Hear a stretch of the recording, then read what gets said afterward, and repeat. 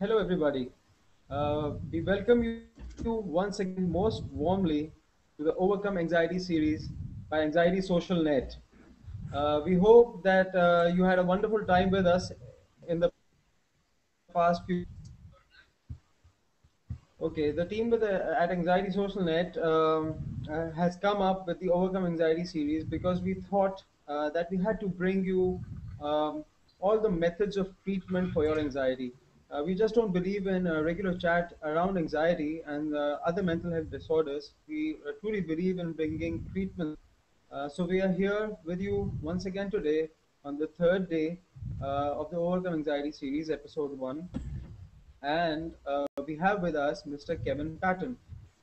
Hello. Me, Mr. And I also have with me Mr. Salomon Tasovic. He's the founder of ASN. Hi there. And we will be uh, bring we will be talking about cognitive therapy today. Uh, we have had a lot of questions about this particular form of therapy uh, on our social network, that is Anxiety Social Net, and we hope that you have a very good. Uh, so, Kevin, it is over to you. Hi, I'm Kevin. I'm a therapist in private practice here in Hackney. And tonight we're going to talk about how to reduce the impact of our anxiety symptoms and bring some balance back into our lives. We're going to start with a presentation and then we'll take some questions and answers. Uh, okay, so while Kevin is uh, going to share his screen, I have to tell you uh, that uh, we have been talking with him for quite a while, and I must say uh, we found him to be a very, very good therapist. He's located in Hackney, London. He also has his private practice, and we are going to share all these details with you. And just, before we start, uh, I would like all of you to do some housekeeping. If you have any questions for us, you can post it as comments in this video or you can go to our Facebook page where the post for this particular video has been pinned to the top. So you'll find it right at the top and you can post your comments, uh, questions there as well as comments. Uh, we hope uh, that this is very helpful to you. So Kevin, let's begin. Okay, now anxiety is a warning signal that something requires our attention. Our nervous system responds by releasing a flood of stress chemicals, including adrenaline and cortisol. This rouses the body to, for emergency action, such as fight or flight. Now this happens whether there's really something out there that requires our immediate attention, or we just think that there's some kind of emergency when there actually is none. And that's the trouble. Our survival instincts don't really care. It's better to be safe than sorry, so the initial alert is enough to trigger the arousal state that sets us up for action and shutting down our uh, higher faculties. Now, nobody in the right mind would run into a burning building to save a kitten or charge down a machine gun nest armed only with a bayonet. But when our adrenaline is up, we'll do all of that and more, setting ourselves up for a whole world of hurt. So, there's nothing good or bad, but thinking makes it so. And CBT uses the five aspects model to look at how we tie ourselves up in knots and make ourselves miserable. It starts out when we become aware that something's going on that needs our attention.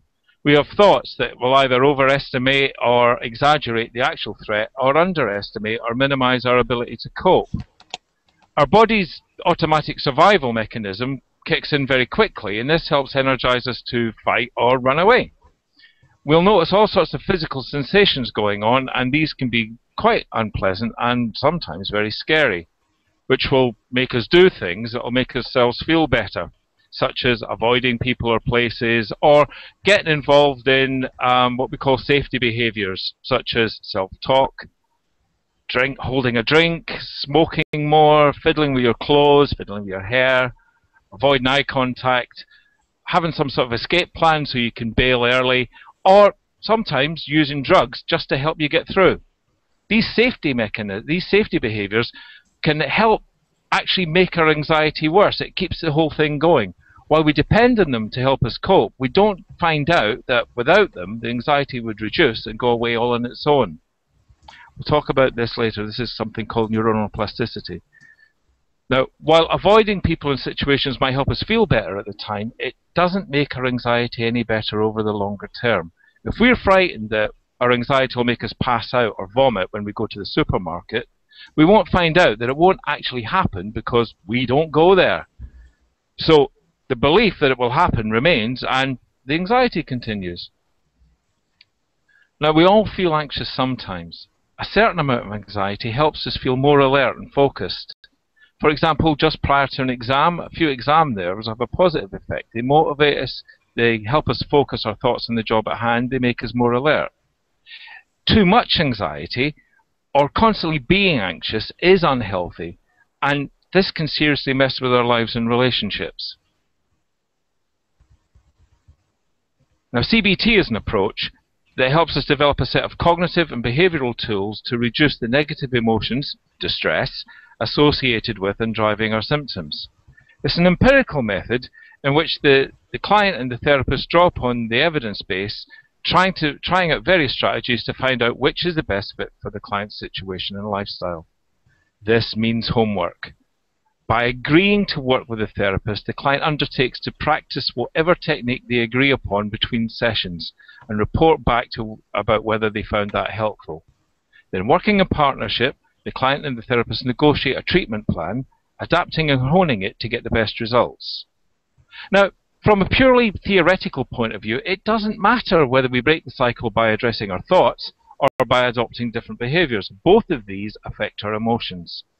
In real life, however, chemicals released during the anxiety response set us up for action rather than thought. And trying to use cognitive tools when we're in a highly charged emotional state is, well, frankly, just asking for trouble. Remember when I said that our nervous system releases adrenaline and cortisol in a response to an emergency situation, and how these chemicals make it harder for us to think clearly? Well, the behavioral strategies most commonly used to address anxiety symptoms are specifically designed to neutralize adrenaline and offset its effects on our heart and, more importantly, our brain by stimulating the release of endorphins. In effect, the behavioral strategies bias the headspace to do the critical thinking that, in the end, is going to help us resolve the problem. Now, the first behavioral strategy we're going to look at is diaphragmatic breathing. When adrenaline is released, it remains active for about 90 minutes. And although we might want to be rational, it's setting us up to be more impulsive. I used to work in a bar, and I've lost count of how many times a customer would do the right thing and walk away from a heated argument, only to come back some 10 minutes later more fired up than when they left. Until the adrenaline's worn off, we'll be on a short fuse, and the next thing, next little thing that happens that's a bit difficult or inconvenient sets us off again. Like I said, adrenaline will remain active in our system for about 90 minutes, or until it's really until it's neutralized by the release of endorphins. Now, endorphins are the body's natural painkillers, and they're released when we put our muscles under stress. So, heavy cardiovascular exercise, circuit training, etc., that would definitely get our endorphins going, but that's not particularly useful in most of the situations we find ourselves in. Now, the diaphragm's a muscle, and it's not it's one that we don't work that hard. So it doesn't take much to put it under stress. So we're going to focus on diaphragmatic breathing, also called yogic breathing or pranayama. This is particularly effective as it actually works on two levels. It oxygenates the blood, slowing the heart, and after a few minutes stimulates the release of endorphins, neutralizing the adrenaline. So it's good that it's so good that in 20 minutes pranayama is just as effective as two hours of gym work for getting your endorphins going. It doesn't build you up or anything. It, it's um, you know for that you're going to need a bodybuilder, not a therapist. Right. So here we go. We're actually going to do a live um, pranayama exercise. Are you sitting comfortably? Right, now close your eyes. Feel yourself begin to relax. Spend a few moments appreciating yourself, your seat, the world around you. Now bring your attention to your breath. Where do you feel the breath? Follow the movement from where it enters at the tip of your nose all the way down to your belly. And see where attention is most keen. Feel the breath entering and leaving. What sensations do you have? Does it feel hot? Does it feel cool? Is it short and quick?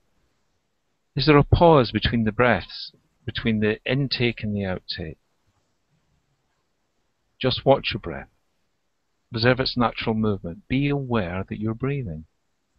Closely observe every detail of your breath from the place where your attention rests. The tip of your nose, your chest, your belly.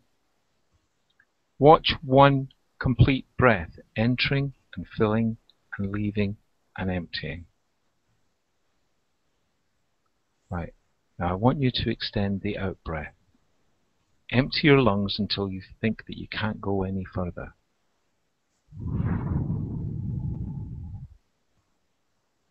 Most of the time, about 75% of the oxygen we breathe in is breathed right out again because our lungs are full of stale air. This technique helps get the oxygen to where it needs to be, into your lungs, into your blood, and ultimately up to your brain. Now breathe in normally. Nothing special, just a normal in breath. Do this a couple more times. Interestingly, it's the out breath that relaxes. We tense when we breathe in, and we relax when we breathe out. Now, generally, I work with clients and I get them to do this for 10 minutes in the morning and 10 minutes just before they go to bed at night. You practice these exercises when you don't need them so that they're trained in and ready to use when you do need them.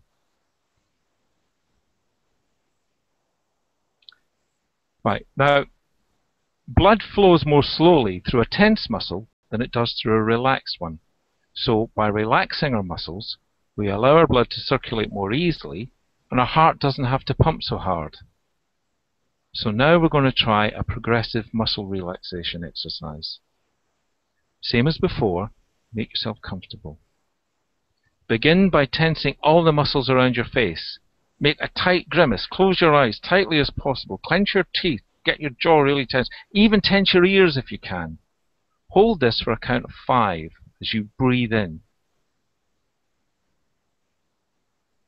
Now breathe out. Relax completely for a count of ten. Let your face go lax as though you were sleeping. Loosen your jaw. Feel feel the tension seep from your face muscles. Enjoy that feeling. Okay, next, tense your neck, your shoulders, bring your shoulders up to your ears, tense everything up, tense your face again, count for five, then exhale and relax for a count of ten. Again, relaxing everything down.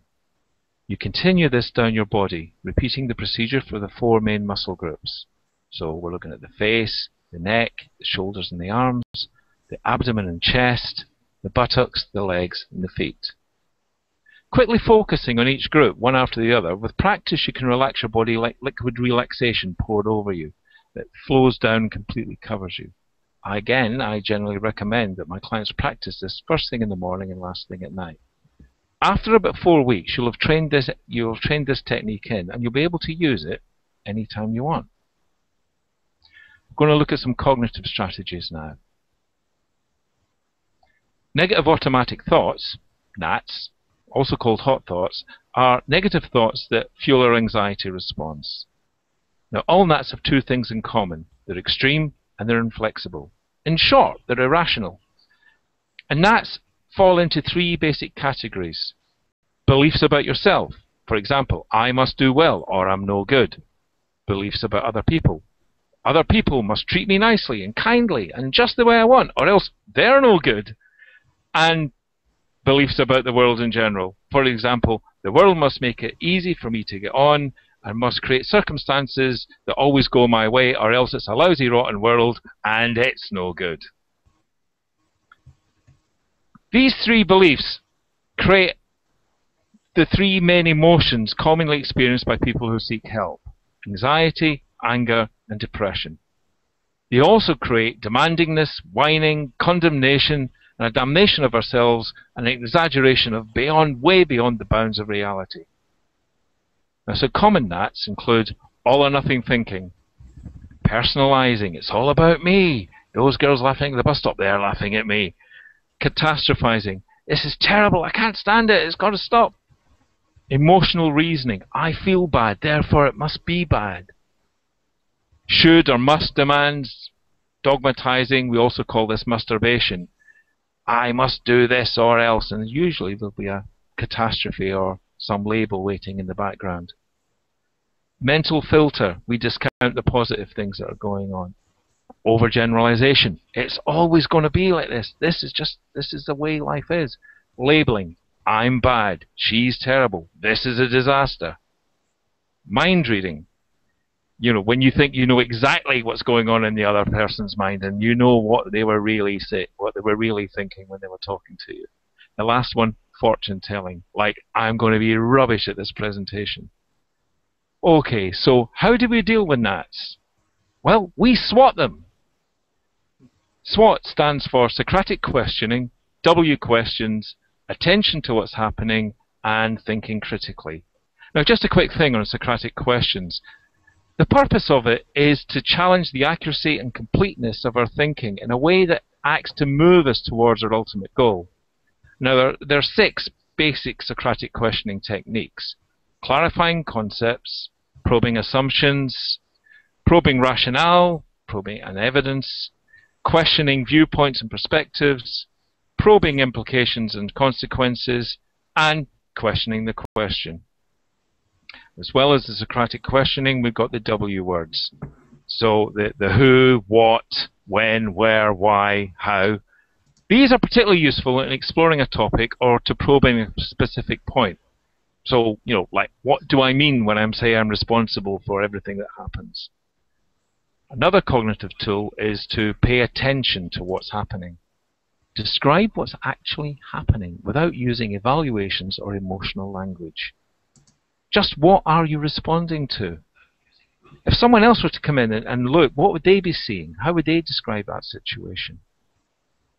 Ultimately, this is all about thinking critically. Are these thoughts helping or hurting? Is this thought consistent with what you know about the world and reality? And if it isn't, what would be? Is this thought logical? Now, you can see why we start with the behavioral strategies. Trying to do this stuff when we're in a highly charged state is a bit like running a race with your feet tied together. What we're looking at here is the STOP technique. This is an effective combination of cognitive and behavioral strategies which, with practice, you can use when things start to get difficult. So, you stop. Don't react automatically. Take five breaths. Oxygenate your blood. Slow your heart. Observe. What am I reacting to here? What's pushing my buttons? How am I driving myself up the wall? Gain some perspective is this really an emergency, or am I just making myself miserable with my thoughts here?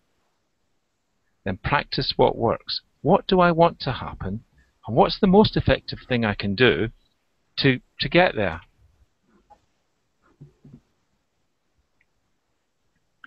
Now that we've got the basic tools to manage our symptoms, it's time to look at building up our resilience so that we won't be so affected the next time something difficult happens. We can affect, but we can't control what happens to us in life. We can, however, reduce the distress we experience when things don't go the way we would like them to. There's a negative correlation between our level of serotonin, released when we experience pleasure, and the level of cortisol, released when we're stressed. As our serotonin level increases, our cortisol level goes down. Now, Okay, serotonin is a neurotransmitter. It's responsible for the reward for rewarding behavior, reinforcing behavior, and balancing moods. I'm talking about basic self-care here. It's important to note that relying exclusively on one particular strategy or, or using it too long results in our chemical receptors becoming desensitized, setting up a cycle of diminishing returns that reinforces the thought that nothing works and increases our feelings of helplessness.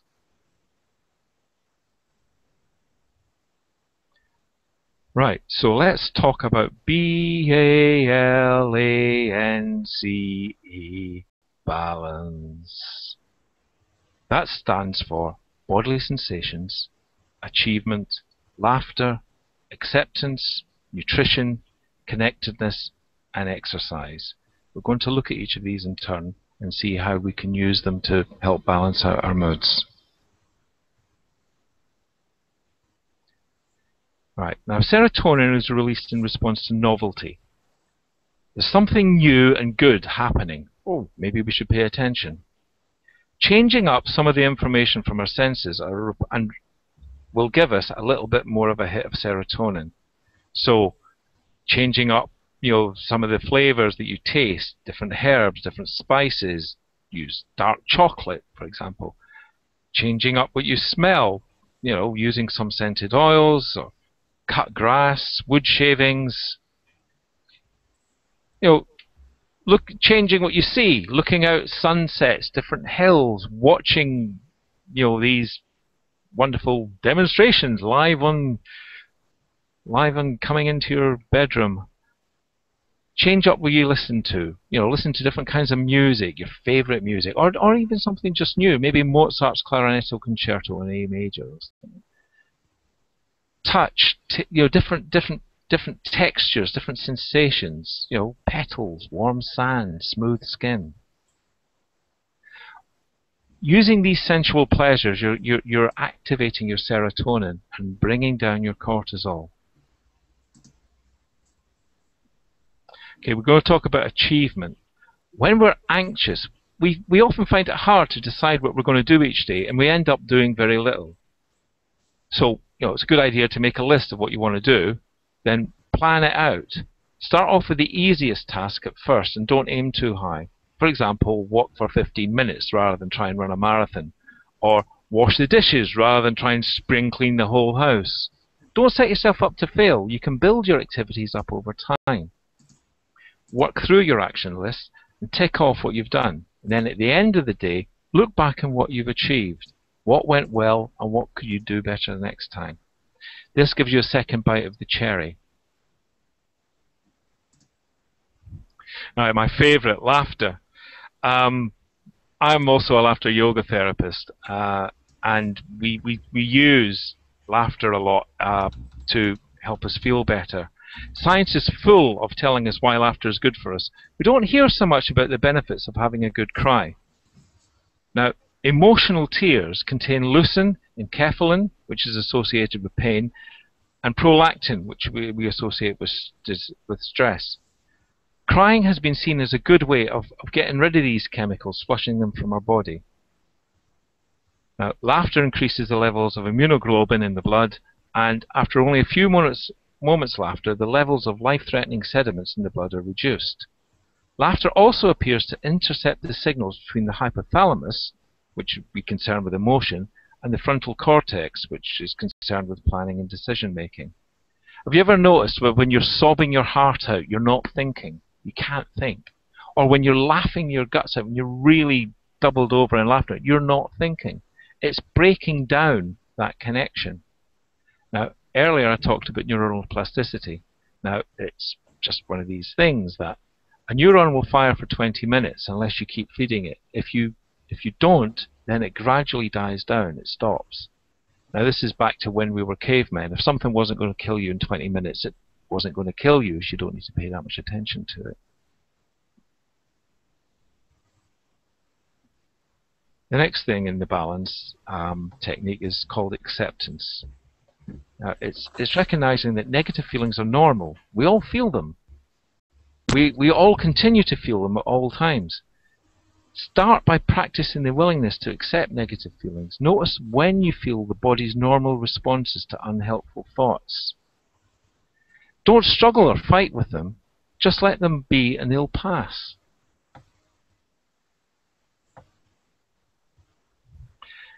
Now, nutrition. What, what can I say? Everything we put in our body directly has an impact on how we feel physically and emotionally. It's important to be aware of what we're putting into our bodies and how some foods can actually increase our experience of anxiety, especially if we're sensitive. Some of the anxiety we experience may actually be due to particular stimulants we're consuming or deficiencies in, in specific vitamins and minerals. We're going to talk about that in a little bit more detail. It helps to spend some time thinking about our lifestyle and what we might be doing that could be making our anxiety worse. Stimulants, salts, preservatives, hormones in meat, sweet refined foods can potentially exasperate our anxiety. Now, stress and anxiety can be aggravated not only by what we eat, but by the way we eat. So, eating too fast or on the run, not chewing your food enough, eating too much to the point where you're feeling stuffed or bloated, and drinking too much during a meal. That dilutes the stomach acids and the digestive enzymes. Uh, one cup with a meal is sufficient. Now, I was talking to Muhammad earlier, and he was saying that this is actually in the Quran. Now, these behaviors all put a strain on our stomach and intestines, and in their attempt to properly digest and assimilate the food, and this increases our stress in two ways. Directly, through indigestion, bloating and cramping, and indirectly through the malabsorption of essential nutrients.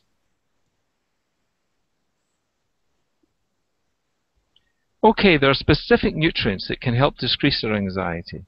These include magnesium, right? As you can see, it aids with muscle relaxation. Then you've got uh, zinc, which uh, stops the copper levels building too high.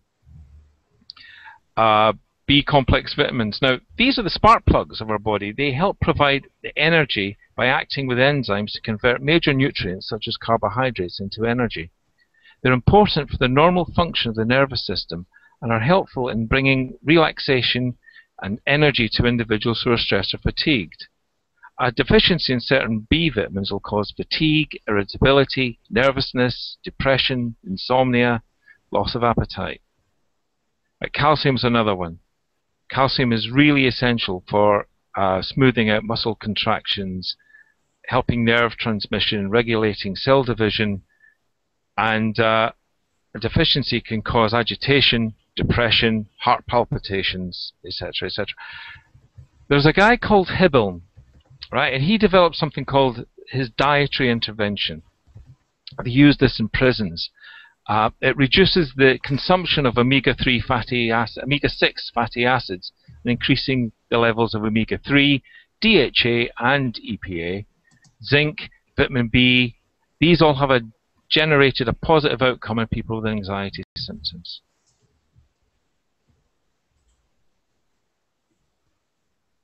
Deficiency in vitamin B uh, and vitamin C reduces the production of neurotransmitters associated with anxiety. Now, neurotransmitters are chemicals in your brain that communicate between the nerve cells and affect our mood and sleep. Now, tryptophan. Tryptophan is an essential amino acid that our body can't make. It's converted into 5-HTP, which in turn turns into serotonin.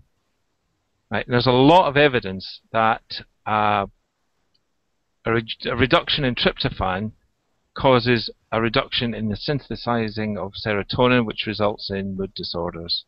It's important to note that if you're taking anti-anxiety drugs, you shouldn't take tryptophan or 5-HTP without the supervision of a care professional, because it can give rise to an effective overdose of that drug.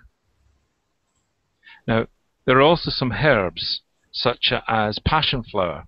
Now, it's got a very strong sedative and hypnotic uh, property. It's particularly effective when used in combination with other herbs such as valerian or chamomile. Connectedness. A large part of our sense of self is driven by group membership and social identity. If someone could make a drug that provided the same level of improvement as social group therapy, they'd, they'd make millions. exercise. What can I say? it makes us feel less tired, it improves our ability to think clearly, distracts us from unhelpful thoughts, it uses up adrenaline, gives us a sense of achievement, stimulates the body to reduce its natural antidepressants, makes us feel more healthy, and stimulates our appetite. It's a good idea in your daily plan to write down all the events of the day put a B beside those that, that are bodily sensations, give you some sensual pleasure, an A next to the activities where you feel some sort of achievement, and don't forget the L, A, N, C, E, and D. Thank you for listening. If anyone's got any questions, I'll be happy to answer them. What a what a beautiful presentation this was. I have to say that uh, it was one of the best that you've done so far.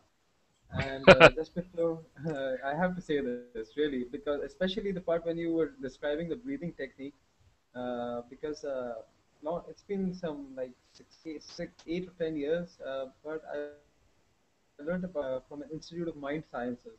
there's a psychiatrist, therapist, doctor back in my home country and uh, it actually worked. Uh, in fact, it uh, what we were taught was that it takes you to a higher relaxing, takes you to, to a higher mental state also. Mm-hmm. And, uh, many more faculties of your own mind in that higher mental state. Uh, so what a beautiful presentation it was. And just a correction, um, you said uh, that uh, we had spoken about uh, when you were talking about the nutritional aspects and water uh, being in diet, uh, drinking a lot of water. Uh, that was in that wasn't in the Quran. It was in the sayings of the Prophet Muhammad. Ah, right. the hadith. the hadith. yeah, that, that's an important correction. It's no less true, though. True.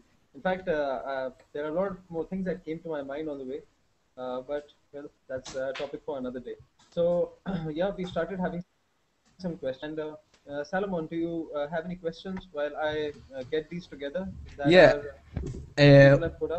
well, also I want to say thank you because this was a pretty good summary of a, a lot of things we were meaning to share with people and, and you really put it all together in, in one thing and, and the beautiful thing also is that you are uh, uh, putting together so many approaches and it's not only uh, the CBT and not only the nutrition it's uh, about uh, everything and and you know anxiety is something that builds up uh, with the little things that happen to you in life so it's it makes sense to me a lot that you had to do many little things to to make it better now, I wanted to, to ask you a mm-hmm. question. Uh, what, what are your stance regarding medication? Uh, do you believe medication is a good treatment? Uh, do you recommend it? Right. Now, medication is it's quite controversial.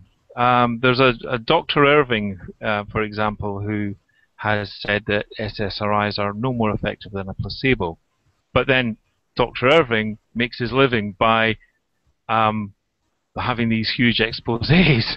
So uh, my personal stance is that if someone has very severe symptoms, then medication can give a very quick way of bringing that person's anxiety levels down so that they can do the critical thinking.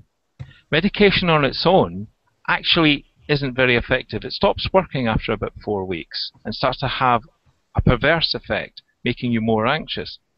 Uh, that's particularly the benzodiazepines I'm talking about there. But um, if your anxiety levels are really running very high, and there's some standardized tests that we can do to help you judge where that is, then perhaps you might consider um, medication. You can by using the you know, release of endorphins and um, the serotonin and practicing the muscle relaxation get there, but that takes longer. Natural methods do take longer. If you need something to bring you down quickly, medication will do that. But you've got to back it up with the critical thinking. Otherwise, you're going to end up back where you started when you come off the meds. So, do, do you prescribe medication to your patients, or this is something unusual? I don't prescribe medication for my patients. Uh, anyone who comes to, to see me, but generally any therapist will tell you the same. If someone's coming with anxiety symptoms or depression symptoms, we first ask them to go and see their doctor because those symptoms can be coming from a physical illness and all the talking therapy in the world and all the breathing and all the all the muscle relaxation isn't actually going to deal with the, the, the root cause of the physical illness. So just to eliminate, just to be um, systematic, we ask them to have a checkup with the doctor to ensure that there is nothing underlying that's giving rise to these symptoms. Then, if it is psychological, we can then do the therapy. I also tell people about other other approaches such as cognitive hypnotherapy or um, ACT or you know mindfulness-based therapy. All of these all of these processes work. And I guess I'm going to shoot myself in the foot here, but being completely honest, it's not so much the approach that matters, it's the relationship between the therapist and the client. You need that trust. And if that if that builds up, it doesn't really matter the approach you take. They uh, all yeah. This brings me to another question, which is something very interesting. I've been talking with other therapists uh, lately because we are uh, contacting many people, and one of the therapists told me that uh, he believes that uh, making friends with the with the patient is a bad idea. You know, like uh, uh, I don't know if they, they prefer to keep the relationship. Some of them, at least, prefer the, to keep the relationships very cool so so they can be neutral about it and and you know and analyze your uh, but it seems this is not the approach you are taking right uh, well, when I say the relationship, it is a therapeutic, professional relationship. It's not you're not going to jump into bed with your clients, for example. You know. yeah, uh, yeah, sure. uh, there is this thing about being able to empathize with someone. Being able to empathize with someone is being able to pick up on their feelings without being overwhelmed by them yourself. If you're very close to someone, then you catch their feelings, and in the session, someone's paying you to be you know be systematic, be problem solving, present the options. If you're actually overwhelmed by their emotions yourself, you're not in a good place to help them. So the relationship's important. It has to be a trusting one. It has to be an open one. It has to be one where you're um, stepping, you know, taking off the mask of the therapist always being right. You're just two people helping each other but at the same time, you're not their brother, you're not their best friend, you're not their mother, and you're certainly not their lover. yeah, sometimes uh, people forget that the therapist is a human being. You know, many people are surprised yeah. when when they realize that their therapist has a therapist, or or this kind of stuff. Yeah. yeah, and uh, just wanted to add here that um, uh, that it's uh, you know the the point about relationships or uh, being friendly uh, uh, with a therapist, a therapist being friendly to their patients is not about you know going overboard or something. I think it's part of the relation and and for patients, especially on our social network, the kind of discussions that we see, a lot of people face the problem of going through to a therapist whom you know, having bad experiences with a therapist. They go to a therapist, but uh, for example, the therapist wouldn't like to uh, touch them or wouldn't like to uh, or stay aloof. You know, uh, they have certain issues around them, and uh, this puts them off, and they need a lot of care and attention, especially people having phobias, severe sorts of them, agoraphobia, uh, bipolar disorder and all these people need a lot of attention mm. and uh, we have a very relevant question with this point uh, does cbt work for obsessive compulsive disorder and would cbt alone be sufficient for it um, it does work for OCD. Um, now back to back to therapy systems in general. Uh, you know, the most famous study has shown that actually all therapies, when the client's in treatment, are all about the same level of effectiveness. It's about 75 to 80 percent. Now, when someone leaves therapy, if you go and look at that client group, say two years down the line, a lot of them will have relapsed. They've gone back to the way they were because they've stopped doing what they learned to do. so, um, CBT is sufficient, but CBT includes being part of an extended network, having having uh, a good support network around you. So, if you include having having something like Anxiety Social Net or some other fora or being having a face-to-face group that you can drop in and out of and, and share ideas with people, this is what humans do after all, then yes, it is sufficient. But if you think you can just come to 12 sessions and never look at it again in your life, I think you've got some questions to ask yourself there about how the world works. True, true that. Okay, I have one question for me actually. You would be surprised, Taro, especially you. So somebody asked Muhammad, which country are you from? okay, so I'm from Pakistan. I'm from Pakistan, currently in Dubai, in the UAE, and hope to see more questions. Okay, uh, I think um, we are having quite a few questions, but I would just like to repeat once. Uh, if you have, uh, if you want to post questions, you don't know how to, uh, just post your questions as comments to this video that you are watching or you mm-hmm. could go to facebook.com slash anxiety That is our Facebook page, and you'll see the post for this video on top. I've pinned it to the top, and you can post comments there also. So, um, do you have uh, one? I have quite a few. I just wanted to ask you first. I have a, a, question. Should I go ahead with some others that you have? Uh, go ahead. I'm checking actually if, if I see uh, questions okay. in uh, in the other pages at the moment. Okay. Okay. Uh, so somebody's asking, uh, which should I use first, drugs or CBT? I think we answered it already, but just if you can recap on it quickly. Okay. Well, CBT is an empirical method. It doesn't rule anything in or out. It it it work. You use what works, right? It's something that the therapist and the client put together as a plan.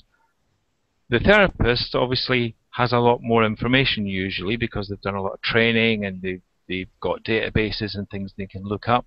So we present the the information, the options. We we we look at it in detail, looking, weighing up the pros and cons, and then together we make a plan. That plan, if if someone thinks that medication is going to help them, after discussing it and looking at all the pros and cons of it, then we work with that. We give it a try, and they report back how it works. It's not my job to push techniques or tools down someone's throat. I'm not trying to turn them into a clone of myself. Okay, I can I can tell you that you know 90% of people find that tool very useful, but you might be part of the 10% that it doesn't work for. This is very good, I think, uh, and also we see around the a trend very clear uh, of of uh, some uh, physicians uh, pushing uh, certain treatments and especially medication. Mm. and and we see a, a, growth every year in people taking medication which uh, as, as I told before, I'm not against medication, but uh, but I don't think it is uh, fit for everybody, and and it's not a final solution or or the best solution.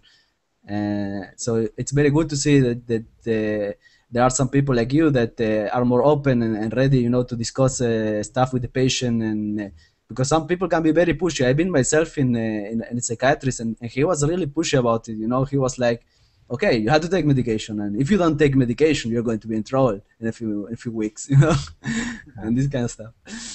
Well, none of that. That's not actually true. Uh, I mean, even uh, there's this study I was looking at in uh, Western Lapland, where people even with very strong psychotic symptoms are not taking medication. They're getting talking therapy. And the the incidence of um, you know in this case it was schizophrenia dropped right down. And the recovery rate of people who had already been diagnosed went through the roof. It takes longer. It's more labor intensive and it takes being part of a community. It takes you know being a human being and, and talking with other people. But um, it works. If there is some pressing issue that you need to deal with quickly, if mm-hmm. there's if there's some medical issue that you need to resolve and you won't go into hospital because you've got a fear of hospitals, then yeah, medication will get you there because if you don't go, you're going to die, right? but um, it's horses for courses. Mm-hmm. It, it's it's always your life. No one can live it for you. We can present you with the options and help you make an informed choice. Okay, uh, we have another question. Uh, is the CBT treatment stressful for the patient? Is it a stressful experience? Uh, actually, I think otherwise, uh, after going through the presentation and all with you. answer the question. Um, hopefully not. Done badly, it can be. Um, there is something. There is something we use for OCD and certain other phobias called gradated exposure, where you, you kind of have this ladder of, of anxiety triggers. And after a bit of preparation and learning the, the relaxation techniques, you mentally rehearse being exposed to those triggers. Um, if that's if that's done clumsily or pushed too fast, that can be quite distressing. Um, but you know the, the, the method that, that we're meant to use is you you go into a state of relaxation before it, you go into the visual rehearsal of the lowest trigger, the most easy easiest one to overcome. You sh- you you go through living through that and, and working at it well, and then you go through another relaxation technique, and then you have a review with the therapist. And over time, as your anxiety level drops down, you take away the first part of the, the process and you don't do it without relaxing beforehand. You just go straight into the rehearsal. You have the relaxation afterwards, and then you have the review. Okay. When you bring that down, then you do the rehearsal, leave off the relaxation, and have the review. And then you would try the real thing with a bit of support. And then you try the real thing without the support.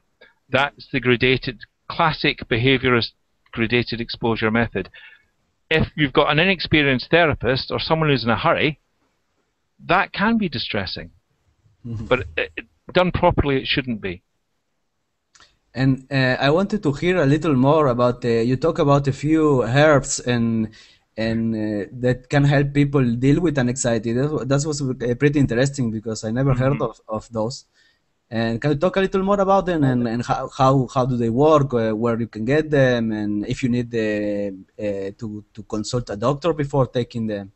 Well, some herbs you should. Uh, Yeah. Uh, cut you, Kevin, just before you continue to answer this, uh, I'd just like to add another question to it. Uh, uh, it's part of a question from one of our uh, one of our viewers also. Uh, if you would remember, we also had a chat uh, when we were talking previously about uh, a lot of things that our parents have been telling us uh, about drinking hot milk, warm milk before you go to sleep. Yeah. Uh, so you know, uh, so if you could cover the nutritional aspects, you know, things like that, plus Salomon's question, and put them together so that people have a good idea of what we are talking about. Uh, Okay. In, uh, in- the case of nutrition. Okay, these are the, these are related, but actually quite separate. Um, Hmm. A lot of the self-care stuff that, that I, I talked about is the stuff that our parents have been telling us. And maybe when we were young, it's like, yeah, yeah, yeah, I don't really pay much attention to it.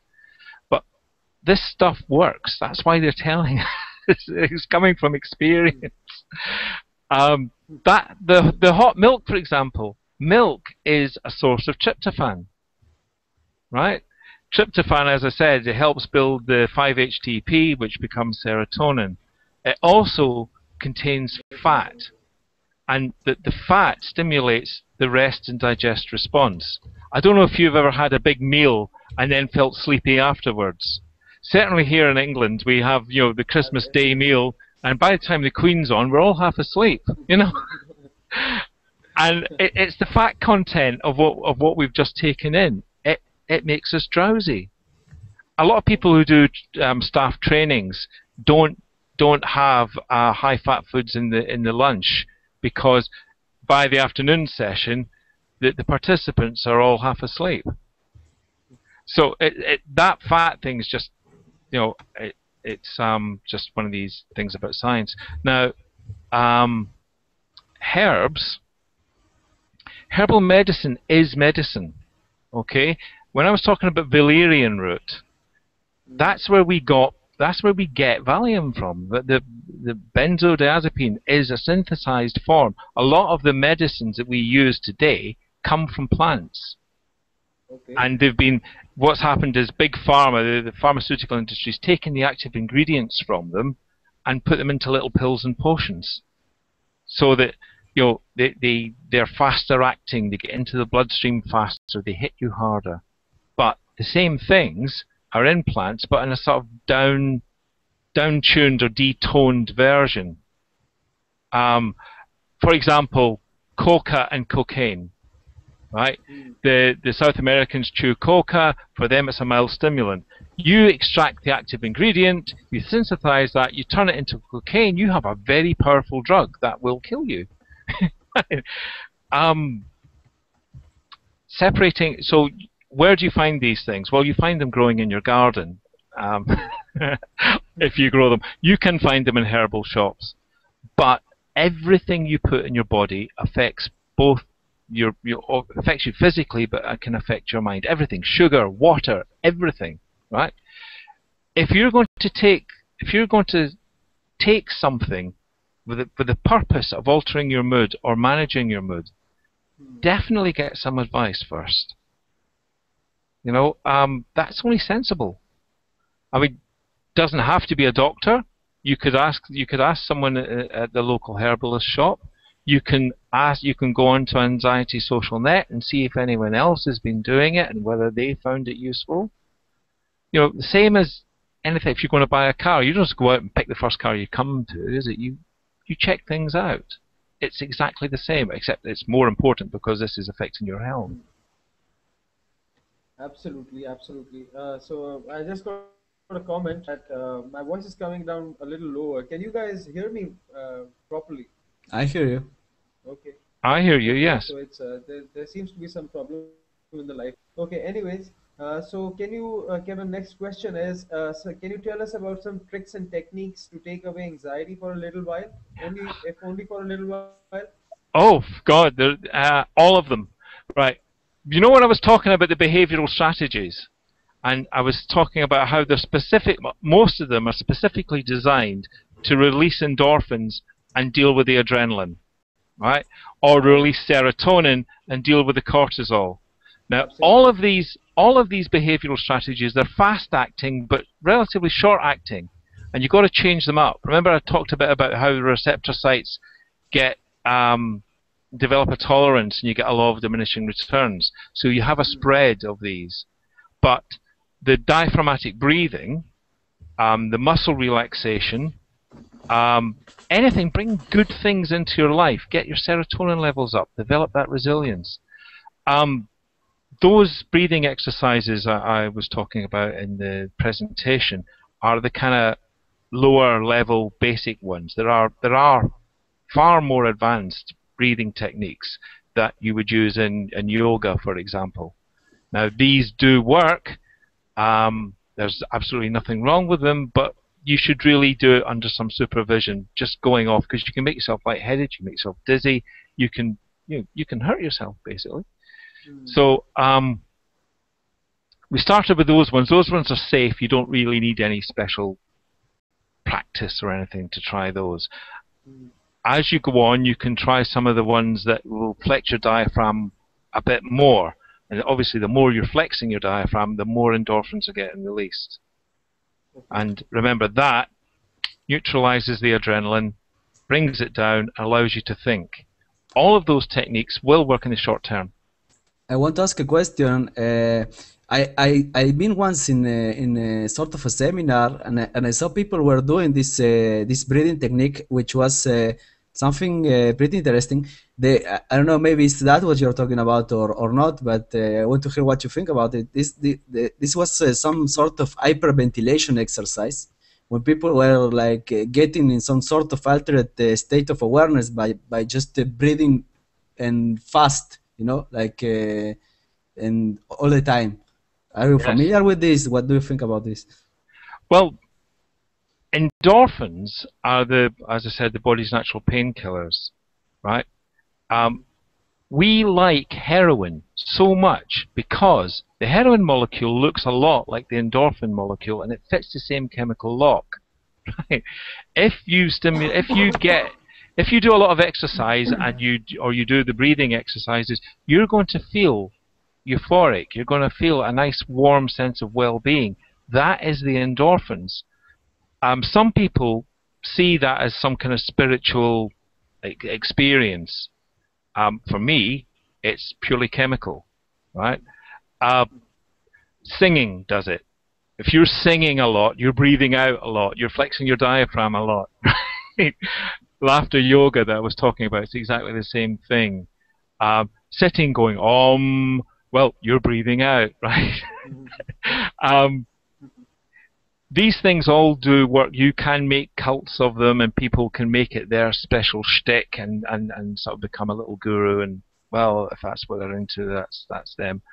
Um, knowing how they work and being able to use it yourself right? And becoming your own therapist and being able to pick and choose the techniques that work best for you and, and, and adapt them into your life. That is what CBT is about. It's not about setting up a little cult. but um, yes, the, the, the some of the breathing techniques are, I, I, guess maybe one of the one you were looking for was um, what they call fire breath, where they breathe rapidly down through their nose a lot. Yeah. Yeah. yeah that that is actually a pranayama technique, and when you do it, you really do feel the diaphragm move. Yeah, you do that for a while, you will feel lightheaded, but you'll also get that release of endorphins, and you'll get a sense of well-being. And it is the chemicals that are doing it. It's not it's not the spirits. Yeah, yeah, no, that's for sure. I'm sure. I'm sure many people will will will uh, not agree with, with this idea, but uh, but you know we're in a, we're in a stage of science that we already know all this stuff, and and it's clear that. Uh, it, it doesn't really matter, I think, also because at the no. end of the day, what what what is important is uh, is is if this helps or not. Yes, that's it uh, exactly. Uh, just have a just a question that I've been actually I had this question for from quite a long time ago, years ago, but just popped to my mind. Uh, I want to know uh, when you are doing a breathing technique. Uh, this this is something that you know the, again that I learned at the Institute of Minds, but I forgot. So I just want to know: uh, Do you breathe like they were they were teaching something like you breathe in with your mouth and breathe out with your nostrils? Is that the do it or the that that is the that is the the classic technique. Um, it doesn't really matter so long as you're flexing your diaphragm. Uh, when you're breathing out through your nostrils, you you are pushing up harder. You're making your diaphragm work harder, but ultimately, doesn't matter. Doesn't matter. Okay. Yeah. Okay, we have a very important question, and. Hmm. Um, uh, you know, it, the two questions are related actually. They are about addiction. So uh, I'll put the two together. Uh, does hmm. does CBT help or other forms of therapy help with addictions? And the other question put together is I'm having severe problems with my opiate withdrawals. Can see can can you tell me something that would help me alleviate the situation? Right. Now, opiate withdrawals are a very difficult one because what's happened is that the body has um, been fooled into thinking that endorphins have been released, and it turns up the volume. It, it, it compensates for that by, sensiti- by sensitizing the nervous system. Everything's working a bit faster. So as the as the opiate wears off, you experience pain, cramps. It, it is actually is actually incredibly painful. Um, so yes, breathing, muscle relaxation, any of those things will help. All the self-care stuff, you know, using the fatty foods, you know, having you know having nice comfortable surroundings, talking it through, taking your mind off these things, they will get you so far. Some people want to use a, an, a, a, a, a, substitute. Now, there are quite a few substitutes. Um, the most common one, and that's only common because it's cheap, is methadone. Another one would be Subutex, right? Now, uh, now the difference between the two is um, Subutex actually blocks the receptors, and if you were then to take an opiate, you would automatically go into withdrawal. So it has a carrot and stick approach. It is easier to come off. When you take methadone, it's very it's it is in itself an opiate. It's just it's just um, a very weak one. Um, it takes a long time to come off methadone, and there are horrible side effects with it, particularly if you drink. Um, it potentiates the alcohol and you can feel quite funny inside. In fact, some people do that because that's how they want to feel. But um,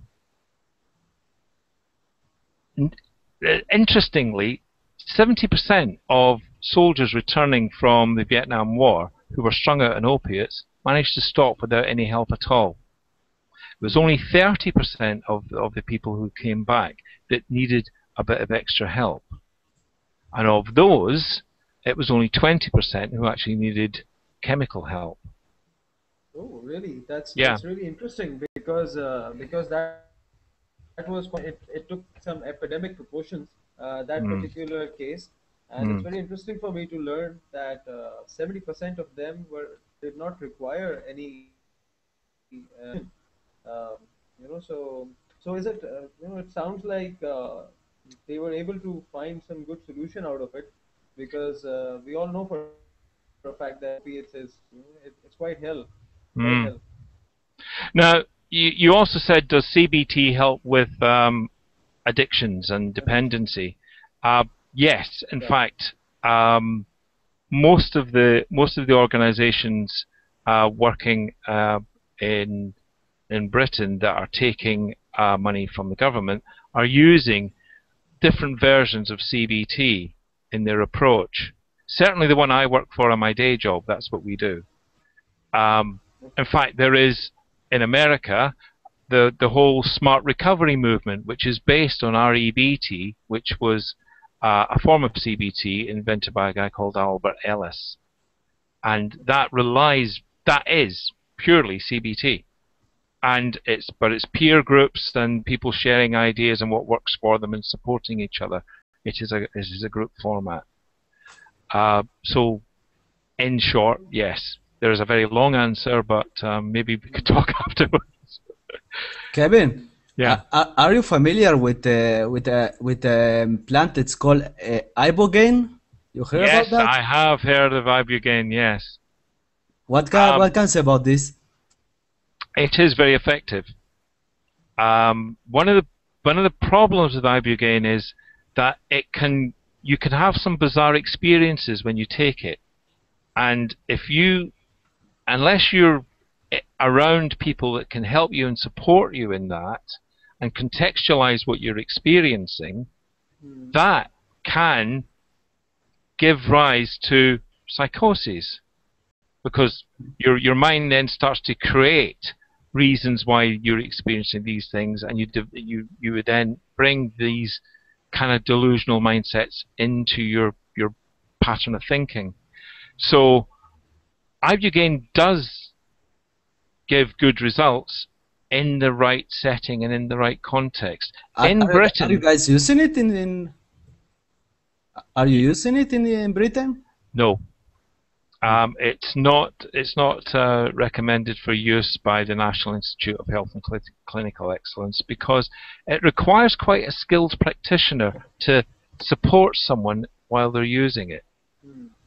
Um, a lot of uh, th- this came a lot from shamanic practice, and a, a lot of people with the, with addictions were going over and they were in situ in the in the tribe and, and working with the shamans. And if you have that kind of leaning, if you have that kind of mindset, then that will work. Mhm. But that's not everyone. Um, the same way that the 12 step tr- tradition, which is very high in the whole spirituality um, concepts, will work for some people and not for others.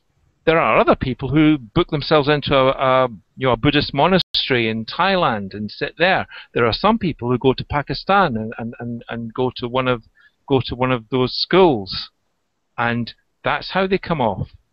That's had some unfortunate effects because those schools are not always just about helping people. But then that's the same wherever you go. Pros and cons, you know, like Yeah. every treatment.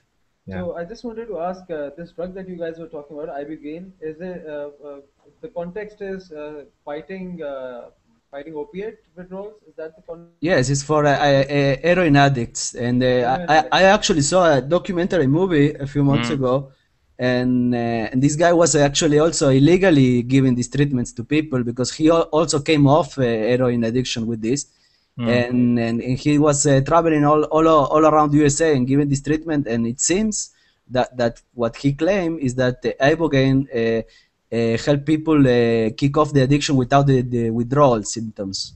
That Okay. it does something in the brain that is not quite clear what it is. Well, I'd say that physically, the the withdrawals are taking place. It's just that you're not aware of it. Mind body, you know, mind over body. yes. okay, Kevin. Uh, I uh, I have another question, uh, but Yeah. before that, I have a personal question. Very- Just wanted to ask. Uh, uh, I've also heard this from my parents and read this in uh, you know hadith and scripture. Mm. Uh, if, if you're angry, if you're depressed, if, if you're feeling uh, a burst of anger, you know, like and which is like a shot of adrenaline in your Mhm. body, uh, does drinking water, uh, sitting down and drinking water help? Does lying down? Uh, uh, do, do these two things uh, can they alleviate the situation of you know? They can. down anger. Yeah. Um, anger is an anxiety response. Okay. Certainly from certainly from a CBT perspective, anger isn't an emotion; it's an anxiety response. It's it's attempting to take control of of what's going on, uh, which you can see is something that people who are anxious try to do. Um, now, the same chemicals, the cortisol and the adrenaline, are being released. What's happening is that we've contextualized what's happened differently. Now, I will step a, step to one side a little bit. The same happens whether you're horny, angry, excited, scared. It's the same chemicals. What's happening is that our brain's interpreting the situation differently, which is why you can flip from one arousal state to the other very quickly. So you know, you can become frustrated, you can become angry. It's very quick. Now, um, back to the water. Now, um, if you've ever noticed animals, when they're anxious, they drink to soothe themselves. You, you'll see it in the wild. You'll see it at home if you've got a cat or a dog. When they're anxious, they drink. Right? That that physical, the physical thing of just taking in water and swallowing it, actually helps calm us. Now, if you were to make that fizzy water, from the slide you can see right you've got the carbon carbon dioxide that you know extends the blood vessels and you know reduces the smooth muscle contractions and all the rest of it. Um, then you've got then you've got something else going as well. It enhances. Now the the lying down that can go one of two ways. If you lie down and your mind's churning over what made you angry you're not going to calm down right Okay. if you lie down and you relax yourself and and you you distract yourself with with pleasant thoughts or then yes that that would work Okay.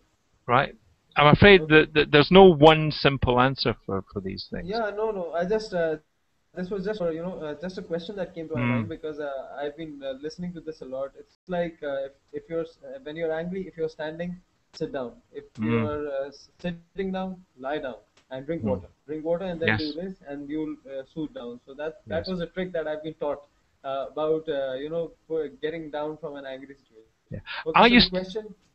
Sorry, sorry. Please go ahead. I used to work with um, male perpetrators of violence, and um, we used to teach them. Um, one of the first things to do was sit in your hands, because if you sit in your hands, you can't hit someone.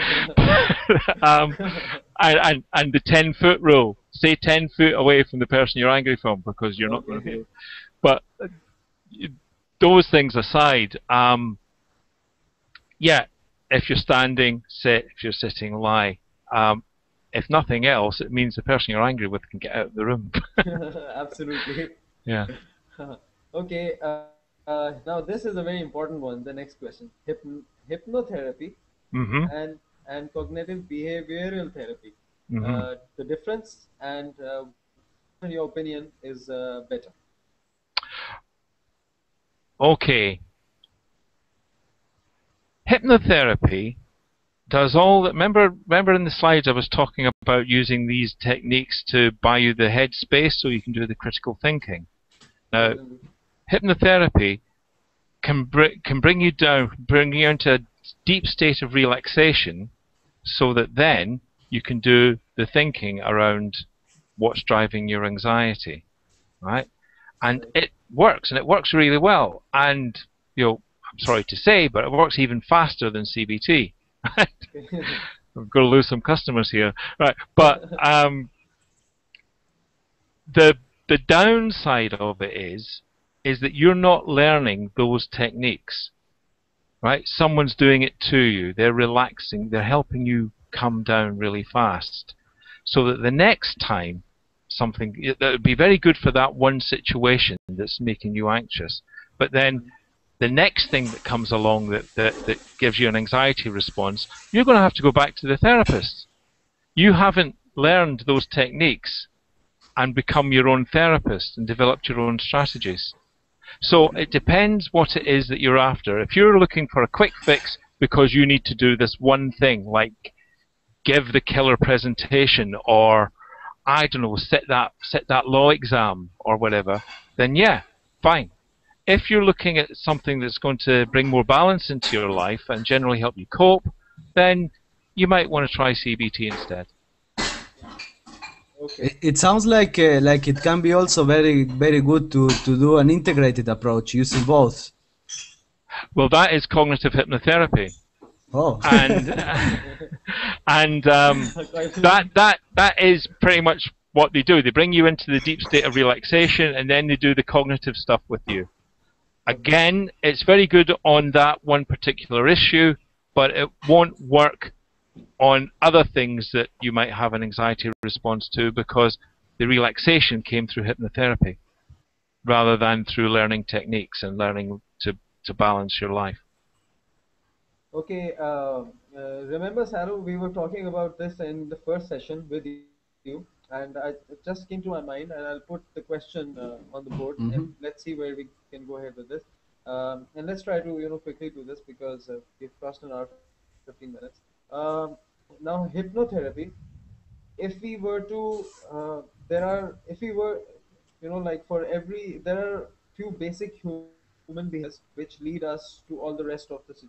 Uh, maybe I'm wrong and maybe I'm right. Please correct me if I'm wrong. Uh, what we were discussing is we can use hypnosis or hypnotherapy to actually change uh, the way we think about certain very important things and uh, the building that stands on foundations will automatically correct itself. So we work on the grassroots level with hypnotherapy and maybe it could be you know uh, highly beneficial and we might not have to go over and over again to you know to a hypnotherapist to get cures for one thing, then another, then a third. Uh, so yeah, that's. Uh, well, that that that is that is true. Um, there is something called the Hamilton susceptibility scale. Um, okay. People become more susceptible to suggestion when they're very relaxed or when they're very tense, right? Very stressed. This is how interrogations work. okay. um, now, by bringing someone down into a deep state of relaxation, you can get in at those messages that are driving our anxiety, the the musts, the the, the shoulds, the the labeling, all of that stuff that we you know we talked about the negative automatic thoughts, and then you know further up the tree into the the, the core beliefs, and you know the filters through which you perceive things, right? That is that is true for for a lot of um, stressors that come along that would active would normally activate our um, anxiety response. Obviously, if you're interpreting them differently, you're not going to be hit the same way. The trouble is that we live in almost an inf- well, we live in a quantum universe. There are so many different things that can stress us that you can't possibly just fix it with um, changing your thought. It's a combined approach. Sometimes we need we need to feel anxious. We need to feel stressed. It's part of our body's survival mechanism. It's what gears us up to act and and and um, survive in emergency situations. You don't want to take it away. You you wouldn't be able to function. You know, you get knocked down the next time a car's coming too quickly around the corner. um, you, the thing is, not to be overwhelmed by that, not to be paralyzed by it, not to have it hit you so hard that you can no longer function. Hmm. So, although yes, you can reinterpret, you've also got to learn how to manage these emotions and how to manage your life so that you're not setting yourself up to to be, you know, knocked aside. The Buddhists call this coursing the four worldly winds. And a lot of Buddhist practice, the meditation practice, the mindfulness practice that they use, we use in CBT as well. In fact, we steal from everyone. We, you know, if it works, we take it. great, this is great. Okay, so uh, now uh, I think uh, we are having, uh, you know, questions are flowing in. We can't uh, go on for much longer, and uh, we really need to really appreciate if Kevin, you can talk about your private practice and um, and exactly you know where you're located and all.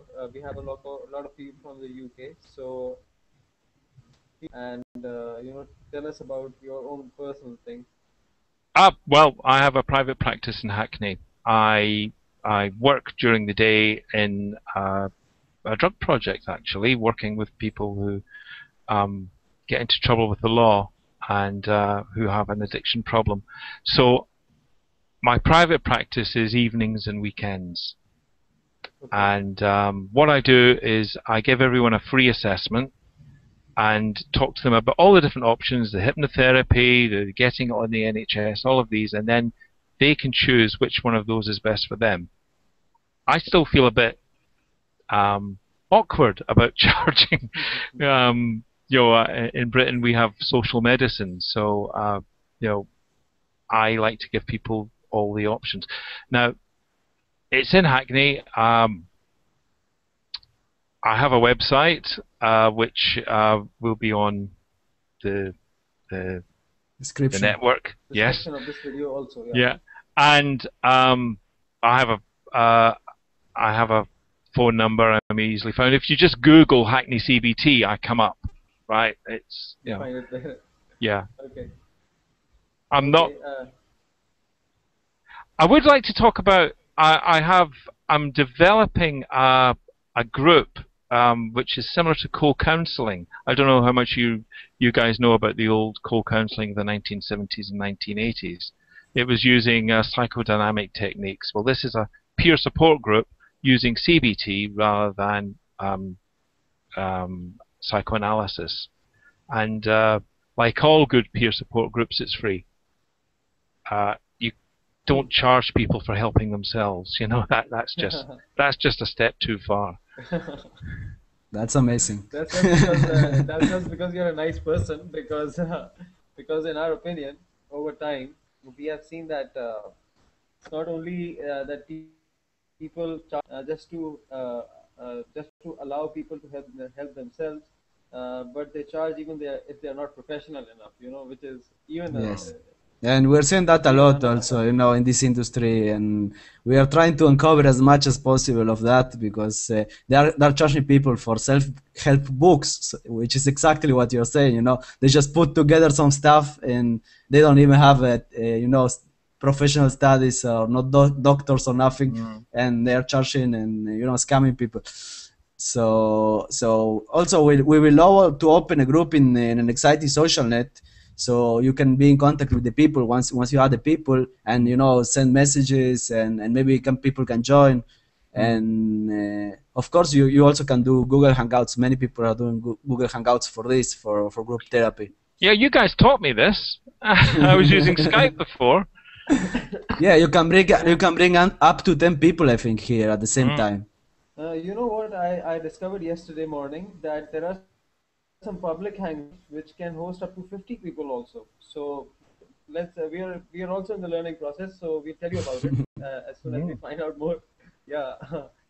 and uh, you know it's it's increasing the power of the web is increasing by the day so there'll be much more coming up and uh, I think uh, that's it from our side today, guys. Uh, I would just like to repeat once that uh, it's very important to find. Uh, it would be the worst thing that you could do to yourself if you did not go ahead to try to treat your anxieties.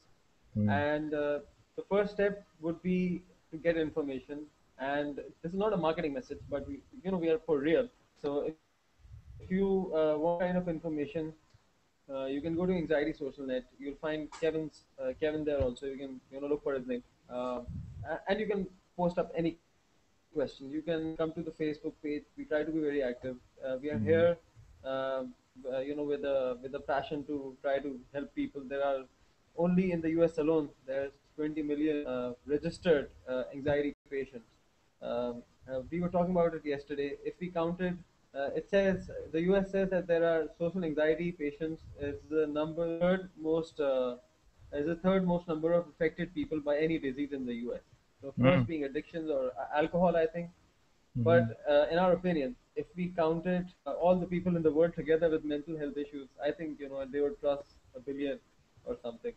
So, uh, so the, the, you know, it's a long and a hard way, but you have first step, and uh, and uh, we do think that therapy, uh, therapy is a very very good option, and uh, so yeah, we hope to see you again. Uh, we'll be continuing this series over the week till Monday. We have another therapist coming tomorrow.